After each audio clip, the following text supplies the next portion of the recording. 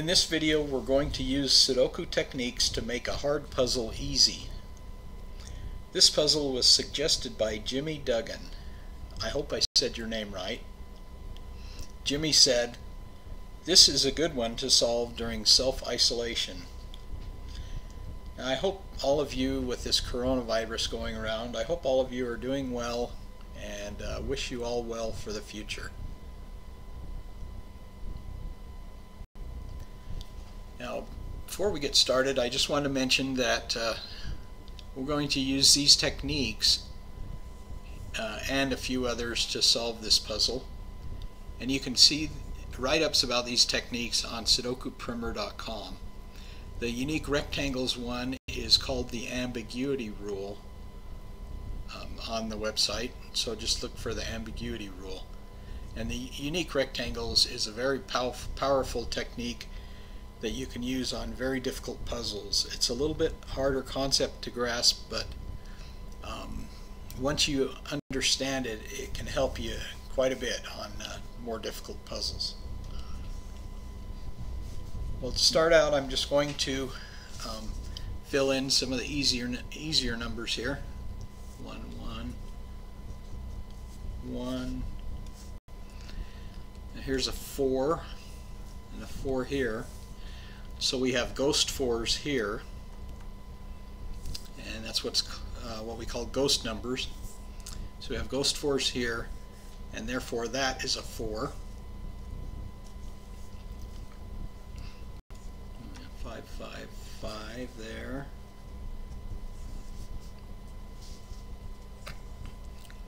And we have a six here, and there, and we have ghost sixes here and therefore that is a 6.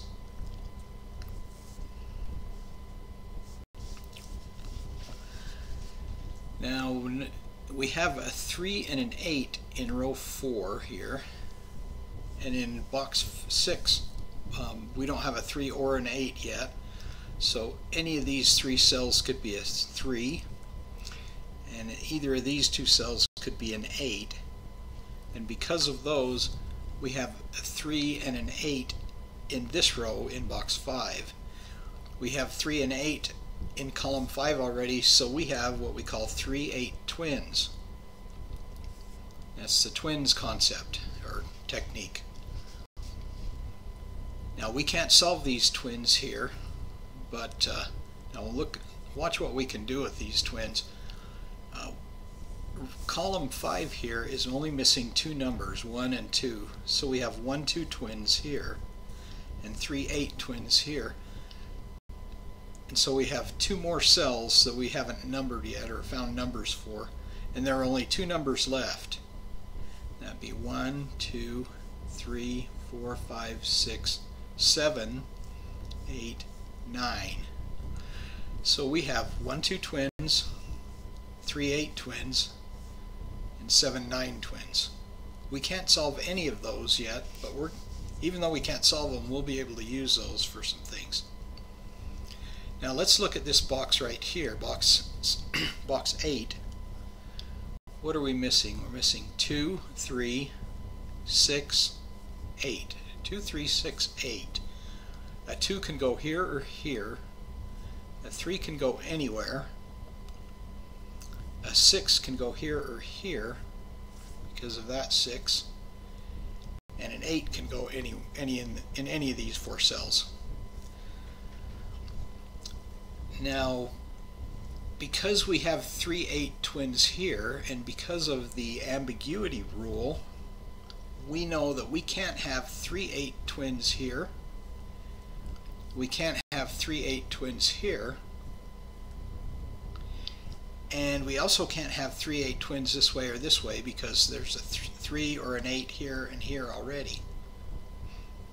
So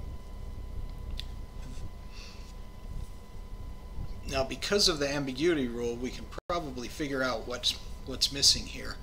We've got a 2 here and a 6 here and so we're missing 2, 3, 6, and 8 in this box. With that 2 and 6 we know this right here is either a 3 or an 8. Now because that's a 3 or an 8, we know this can't be a 3 or an 8, and this can't be a 3 or an 8. So we know this is a 3 or an 8, and we have 3 8 twins this way. So that leaves 2 and 6 for these two cells, and that can't be a 2 right there because of that 2. So we solved the, solved the 2 and the 6 using unique rectangles. Now if that isn't real clear to you, go to the sudokuprimer.com and look up the ambiguity rule under techniques and uh, you can see a write-up about that and it'll explain how that all works. Alright, now let's look at row 5 here. We've only got one number here, but if you remember we have 7, 9 twins. So let's see what we're missing.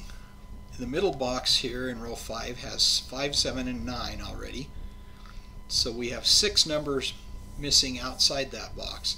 Those are 1, 2, 3, 4, 6, 7, 8, 9. 1, 2, 3, 4, 6, 8. And if you notice here, we've got a 1, 2, 3, 4, and 8. So we know that's a 6. Now we couldn't have done that without these 7-9 twins, but since we know these are 7-9 twins, even though we can't solve them, it, it helped us find that 6 there.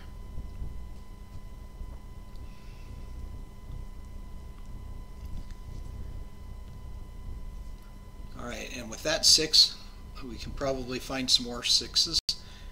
Here's 6 here, ghost 6 is there, so one of those is a 6. So that has to be a 6 right there. 6, 6, 6. So that's a 6. 6, 6, 6. So that's a 6 there. And we have 6, 6, 6, 6. So that's a 6 there.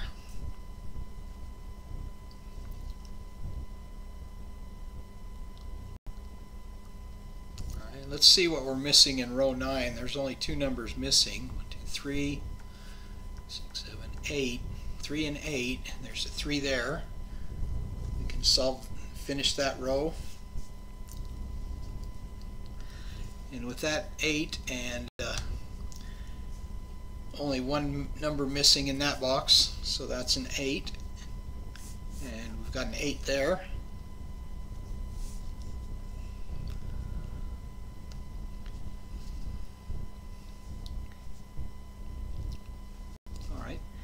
And now, because we've put an 8 here and a 3 here, we know these three 8 twins right here, we can solve them.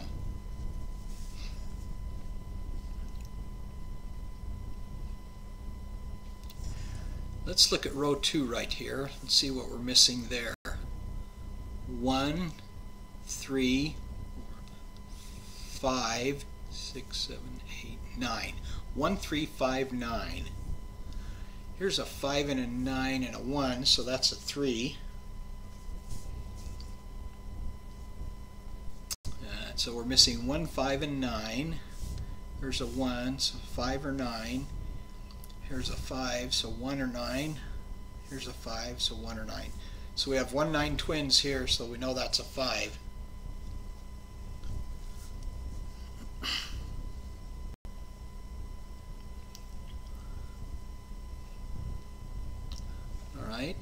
And now, let's see what we're missing in, in box 1 here. 1, 2, 4, 5, 6, 7, 8, 9. 2, 5, and 9. There's a 5 and a 9 there, so we know that's a 2. And with that 2, let's see, we can solve this 2 right here. We got 2's there.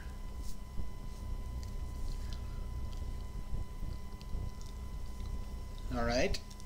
Now let's look at threes here. We got three, three, three, three, three, three.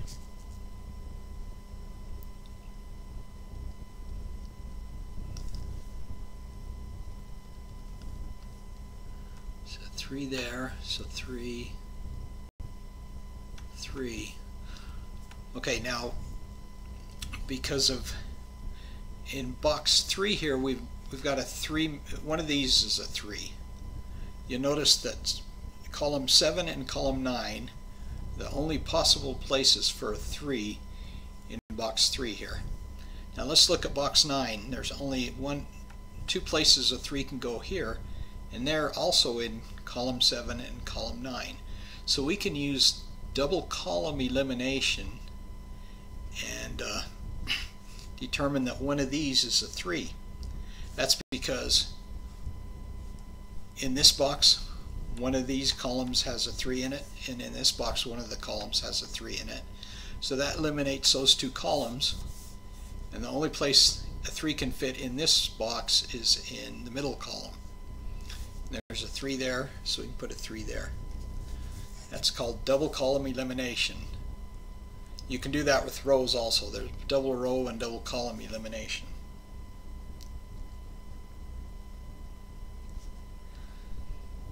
Alright, and uh, let's see. We've also got an 8 right here. So we can fill that in right now. All right. Let's look at row 5 here, see what we're missing here. 1, 2, 4, 7, 9. But remember these are 7, 9 twins here. So we're really only missing 1, 2, and 4. There's a 1 and 4 there, so that's a 2. And we've got a 1 there, so we can fill in the 4 and the 1.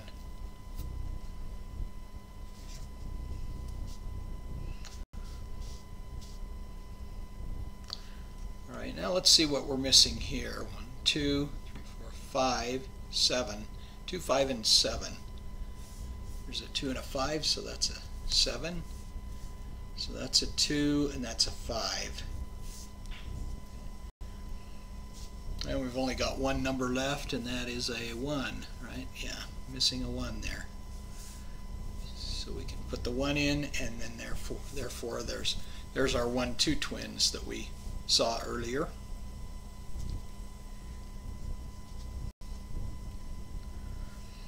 All right. Now we're missing a 7 there, so we can fill that in. We're only missing one more number here, and that's a, a 9.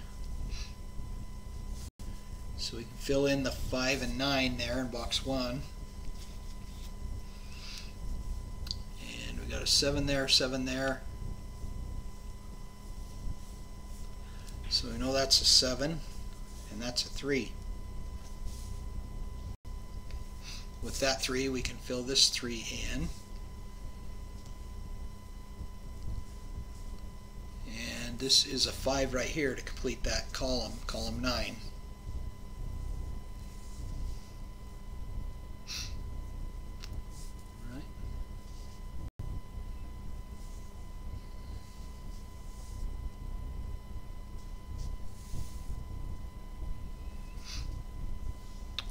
We're only missing one number here in row 8, and that's a 9. And 1, 2, 3, 4. Yeah, we're missing 3 and 4 there.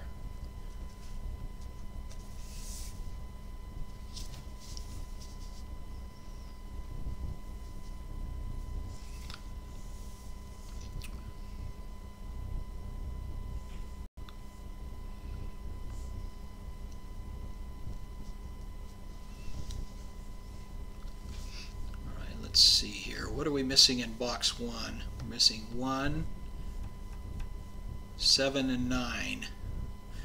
That's a seven or a nine. That's a one or a nine. That's a one or a seven.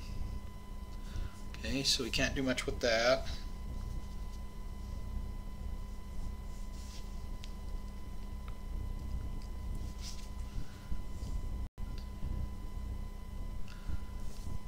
Here we have got a 9, so we can fill in a 7 there and a 9 there. And now we know the 1-9 twins that we had here. They go like that, and uh, now we're missing a 1 and a 5 there in box 3.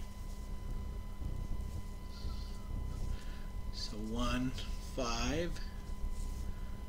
We're only missing one number here, that's a 7. And now we can finally fill in those 7, 9 twins in box 5. And you saw how they helped us find numbers here before. And then we've only got uh, two numbers left. 1, 7. So we can finish the puzzle with that. And that's it. Well, um, I hope you hope that helped you understand twins, unique rectangles, ghost numbers, and double column elimination, along with a few other techniques that we we covered in this video, in this puzzle. Well, thank you for watching. And again, if you want to learn more about these and other techniques, go to the techniques section of sudokuprimer.com. I'll see you on the next video.